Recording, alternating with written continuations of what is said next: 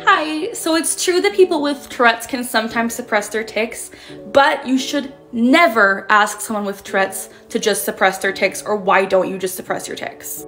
Tic suppression takes up literally all of your focus. So if you're at school, if you're at work, if you're trying to suppress a tic, all of your focus, like a rice, goes out the window. You are strictly focusing on don't tic, don't tic, don't tic. I firmly believe asking someone to stop ticcing is the exact same as asking someone, please stop blinking.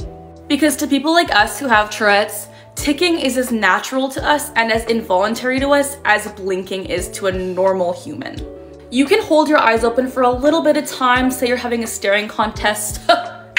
you can hold your eyes open for a while, but after a while, they'll begin to water, you'll begin to panic, and eventually you will have to give in and squeeze your eyes shut and blink again. It's the exact same as ticcing. We eventually have to give in and tic.